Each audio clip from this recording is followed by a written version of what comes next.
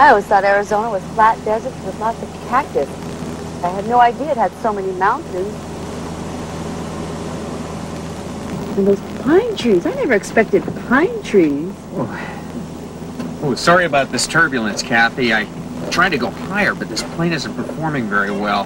This last leg, it seems like it's really been struggling. I just don't have power. I, I, I can't seem to climb.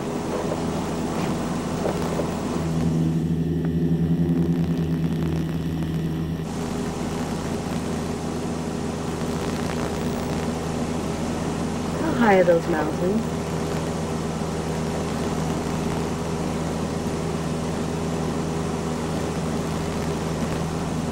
Bob! Um, I'm not really sure, honey. Those pine trees are getting bigger. Are we in trouble?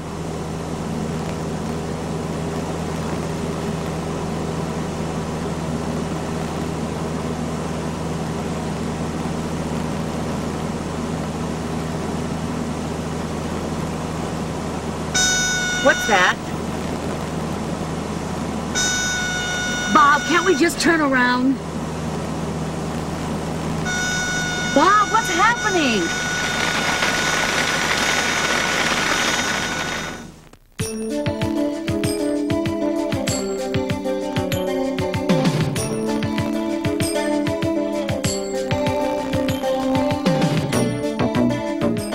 Hello, fellow pilots. I'm John King. And I'm Martha King.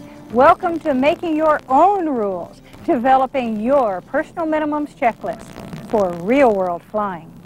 You know, we've been in situations similar to that one, and we've experienced the same kind of stress that pilot did. And so have most pilots who've got very much experience. You know the feeling. You get me out of this situation, and I promise I'll never do that again. Well, it's not very much fun. Most of us resolve never to get in that situation again. But then it happens to some pilots over and over. We all know someone whose family won't fly with him or her anymore. And we know a few pilots who've scared themselves so badly they've given up flying altogether. That's a shame. It doesn't have to be that way because you can do something about it.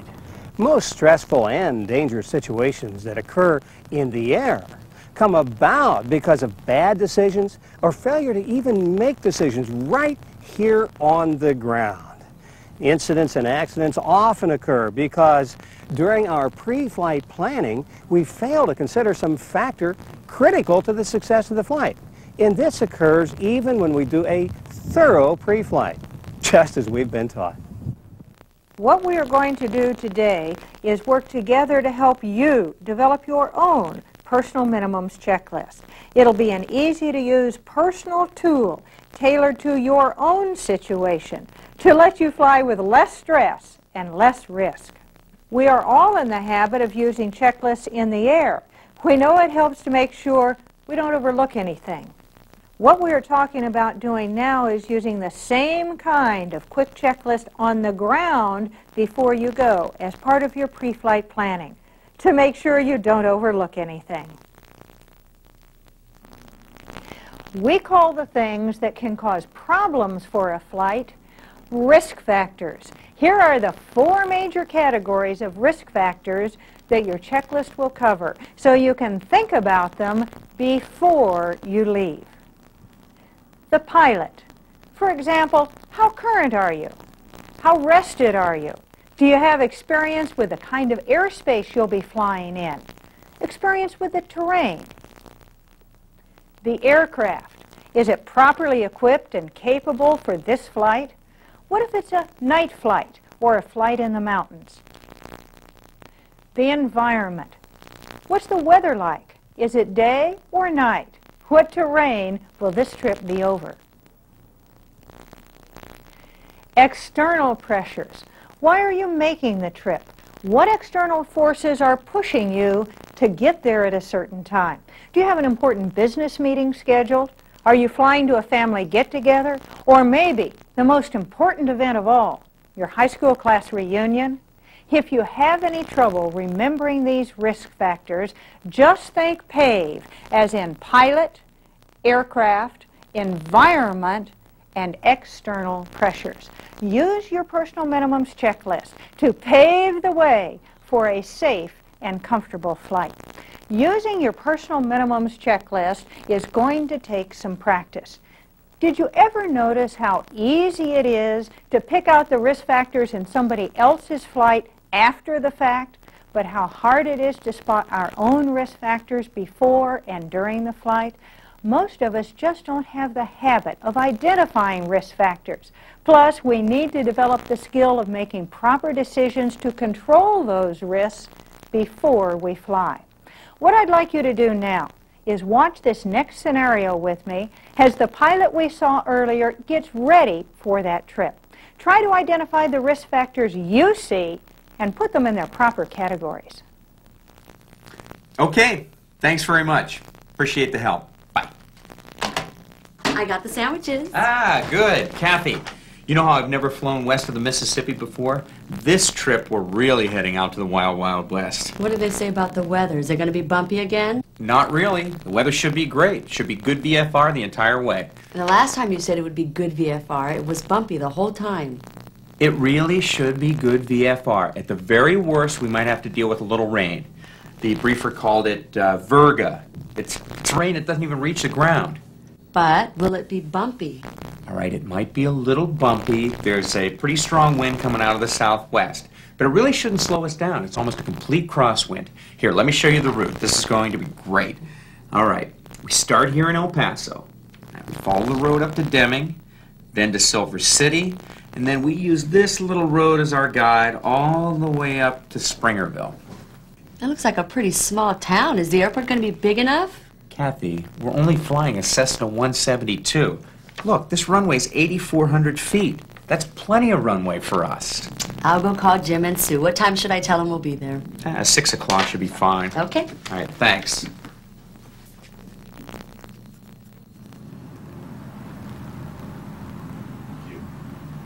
Okay, Jim, hold on. Bob! We have a problem. Jim says the airport closes at 5. Hmm, let me talk to him. Hey, Jim, it's Bob. How you doing? Good, good. The flying's going great. Yeah, I've got almost 100 hours now. In fact, I'm going to start working on my instrument rating as soon as we get back from this trip. Anyway, what's this about the airport closing at 5? Oh, I see. It's the FBO that closes at 5. Well, that's not a problem. We can still land there. I'll tell you what. Why don't you and Sue meet us outside the FBO? Yeah, I know there's no phone or anything out there, but don't worry. We'll be there at 6 o'clock sharp. Yeah, the weather's great. We're not going to have a problem. Okay, good. We'll see you at 6 o'clock sharp. All right, bye.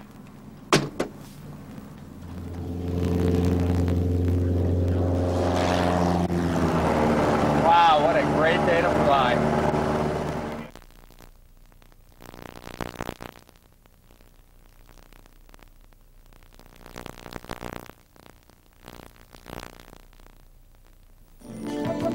Now that we've identified the risk factors for this particular flight, we need to make some decisions about how to control those risks. Well, one way to control risks is to set your own personal minimums for each category of risk factor when it's appropriate. Now, the FAA has already established some minimums for many of these categories, but you should give yourself permission to be more conservative. I call that conservatism without guilt. You know, some pilots feel that they're not a fully qualified pilot unless they're willing to go right down to the FAA minimums in every situation. Well, that's not a good idea because of the philosophy behind the regulations. They're designed to be flexible and permissive. For instance, you can legally fly VFR at night, even in the mountains, with as little as three miles visibility and a 1,000 foot ceiling. But would you really want to do that? Would you consider that fun? or maybe stressful? Well, if you'd consider it stressful, it's probably not a wise thing to do. The regulations allow VFR flight at night in that kind of weather because in some circumstances it might be okay. And the philosophy is to allow pilots to exercise their own judgment. So set your own personal minimums for night VFR flight in the areas in which you fly. And even for flat country, you might want higher night VFR minimums than the FAA requires. Five miles visibility might be more comfortable for you. Now notice we're stressing personal minimums. The reason the minimums are personal is that you are a unique individual. Only you have your particular set of skills and abilities, and only you can make the right decisions for you. Now, in addition to ceiling and visibility, other areas in which you might want to set personal minimums are, first of all, the maximum crosswind component you'll take off or land in. You might consider a maximum of 75% of the demonstrated crosswind capability of the aircraft. And how about a percent margin over computed takeoff distance required? You know, the books assume a new airplane, a maximum performance effort, and a really sharp pilot. And it gives no margin at all for error. Well, we know sometimes we're not all that sharp. So we add 50% to the takeoff distance required for single-engine airplanes. Another area is recency of experience. The FAA regulations say you only need a biannual flight review and if you want to carry passengers three takeoffs and landings in the last 90 days. Now, you can have not flown for almost two years, go out and do three takeoffs and landings on your own, and then legally go out and fly even with passengers whenever you want. But do you really want to do that? A personal minimum to consider is if you've not flown for over six months, get some proficiency training with an instructor before you fly. Now, another area to think about is stress. There is no question your concentration and your performance go downhill if you're under stress. And stress can come from having an argument with a relative or coworker, and from someone close to you having a serious illness, and other major events in your life. The FAA does list medical conditions that require you to ground yourself, but stress is not one of them. So some pilots have a personal minimum of 24 hours between a significant argument with someone and a flight, just to calm down and make sure that they don't behave impulsively when they fly. For IFR pilots, consider having a personal minimum for the weather for takeoff. The FAA allows zero zero even for single-engine airplanes at night under Part 91, but the airlines can't go unless they can return if they have a problem. So Martha and I always make sure that we can land within 20 minutes of takeoff. Now, the FAA sets no limits on how many instrument approaches you can do when you're IFR. But we feel that repeated missed approaches encourage the tendency to cheat. So we have a rule of making no more than two instrument approaches to an airport before we go somewhere else. Now, in some cases, you can't really set minimums, but you can establish good operating procedures. The airlines refer to what I call good operating procedures as standard operating procedures or SOPs. And one place where using standard operating procedures can be particularly helpful is in dealing with the external pressures of a flight. For instance, in the airlines, there's always pressure on an airline crew to reach the destination on time. One way this pressure is handled is by having an operations manual that spells out specifically the airline's requirements to dispatch or to continue a flight and the procedures the crew must follow. Corporate aviation pilots also have standard operating procedures or SOPs designed for their own operations. These SOPs describe how the crew should interact and what the normal routine of a flight should be. As a general aviation pilot, you're already using some standard operating procedures, such as using checklists for different phases of flight and the flow pattern you use when doing your pre-flight but you can lean on what the airlines and corporate aviation have already done by developing and using more of your own standard operating procedures. Part of your personal SOP to cope with external pressures might be to always allow extra time on a trip so that you have time to make extra fuel stops or unexpected landings due to weather and still not be late. It might be to always have alternative plans for late arrival. It could be to always have backup airline reservations or plan to leave early enough that you still have time to drive on trips that are really important to you. Just like you always leave yourself an out for weather and other factors in the air, your standard procedure should be to always leave yourself an out for the external pressures of a flight. Always tell folks who are expecting you that you'll be conservative and might not show up on time. After all, people get delayed on the airlines or in cars, too. You shouldn't be so eager to prove your skill and the utility of a light plane that you're unwilling to allow yourself that same out at all times. It isn't necessarily someone or something waiting for you at the destination that puts pressure on you to make a flight when you really shouldn't. Isn't the hunting cabin somewhere around here? Yeah, I think I know where it is. Hey, let's buzz the guy. Yeah, let's buzz him good. Sometimes it's peer pressure from having a friend or family member traveling with you that you don't want to disappoint. Buzzing is illegal, ladies. Oh. Because pilots are very goal-oriented, it's often simply the pressure you put on yourself to complete a particular task, the flight that you've planned. In our case, our desire to prove to ourselves and to others the utility of general aviation airplanes occasionally had us flying when we really shouldn't have been. The external pressures on a pilot tend to lurk in the background, but they underlie everything he or she does. A quick scan of an external pressures checklist makes sure that you think about the issues and actually make a decision about them, and that you don't accidentally put yourself in a dangerous or stressful situation. Now, after you've created your personal minimums checklist, you should plan on changing it from time to time. You may not fly for a while and lose proficiency. On the other hand, you may have had some recent training or experience and are a lot sharper than you were when you originally set your minimums. In either case, you need to readjust them. So put a date on your checklist and periodically revise your minimums and add a new date. Now, a good rule to follow is that you can always increase your minimums at any time, but that you should only reduce your minimums when a positive event, such as an increase in experience or more training, maybe an instrument competency check, has occurred. One thing, though, Make sure you change your personal minimums sometime when you're not planning a particular flight. Otherwise, the external pressures of that flight will influence you. Just be sure to question yourself about your reasons and timing for the change. When we're done today, you'll have your own personal tailor-made checklist. But it won't do you very much good unless you really use it. So here's how you'll use it. Carry it with you in your flight kit. When you've gotten your weather and planned the route for your trip, pick up the checklist and glance through it just the way you would a checklist in an airplane.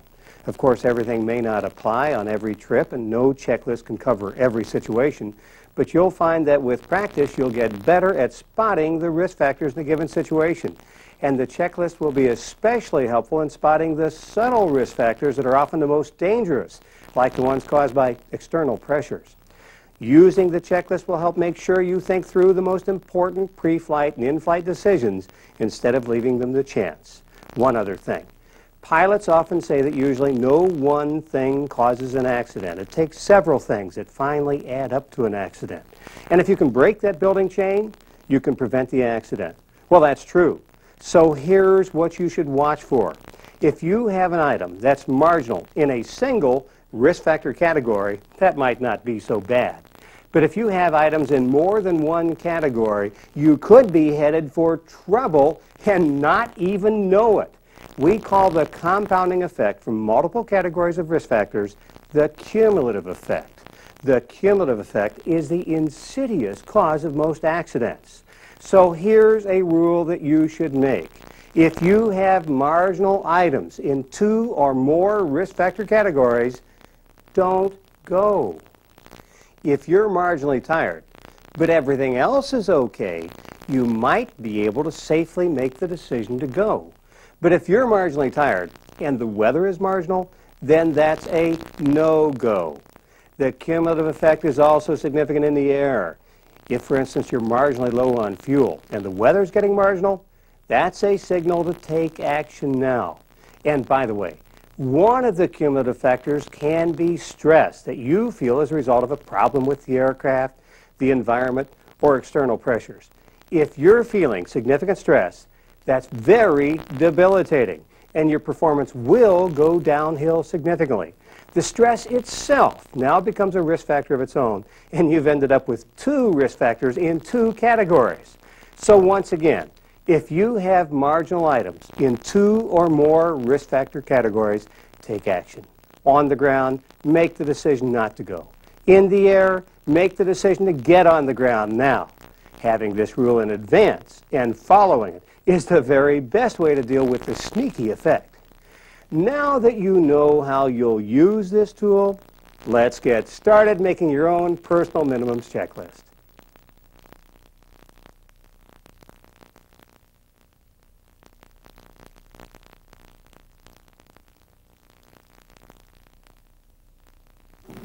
Hi, how can I help you? Hi, uh, my wife and I flew in last night in 172, and we're on our way to New Mexico and Arizona. But I've never flown in the mountains before, so I was wondering if maybe you had a flight instructor who could give me some tips with my flight planning. I'm sure we do. Let me check. Okay. I'll go to the restaurant and get some sandwiches to take with us. Perfect. I'll meet you back here. This is Bill Johnson. Hey, Bill. Bob Walters. Hi, Bob. Jane tells me you're looking for a flight instructor with some mountain flying experience. Exactly. Well, I think I can help. Let's sit down where we can talk. Okay. I've developed a personal minimums checklist that I use before each flight. Hmm. And going over this made me realize just how much I needed some information about mountain flying before I headed any further west. Plus, I know I'm flying a non-turbocharged, relatively low-powered aircraft, and I wanted to get some tips on how to deal with that lack of performance at higher altitudes. Good idea. Let's take a look at the route you've planned. Okay. I figured we'd head west out of El Paso, of course, right over the road here into Deming, from Deming into Silver City, and then follow this. Well, I think you'll do fine if you wait a day for the winds to calm down. And take that lower route by way of Socorro we talked about. Yeah, and I like your idea of going into St. John's Airport instead of Springerville. It's 1,200 feet lower, plus it's a lot further from Baldy Peak and those nasty downdrafts you talked about. Not only that, it's pretty close to Jim and Sue's house, too. We'll have fun. Thanks to you, we will. How'd it go? Great. It was a real eye-opener, though. How's that? Well, I guess I wasn't as ready for this flight as I thought. Bill asked me some questions about leaning the mixture, and there were some other things that I really didn't understand. See, I thought when you were flying at full throttle, you weren't supposed to lean the mixture. It turns out that at higher altitudes, you have to lean the mixture no matter how full the throttle. Wow, I'm glad you learned so much. Yeah, so am I, but there's more. Oh. You know, he also mentioned that when you're flying in high winds, you can get these serious downdrafts on the lee side of a mountain or a ridge. I hadn't even thought of that. Oh, and he also said that virga, the rain that doesn't reach the ground, that can cause downdrafts. When the rain comes down, it meets the dry air below and it evaporates. That cools the air and it makes it heavier. Well, that heavier air sinks. See, we don't have virga at home. And I never realized you can get in a downdraft just by flying under it. Wow, that's good to know. Well, I got the sandwiches and I'm ready to go. Well, that's another thing I've got to tell you. What's that?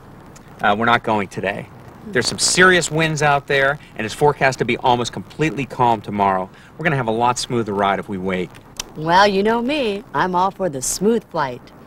Hey, let's take that drive into Mexico we talked about. Okay, you're on.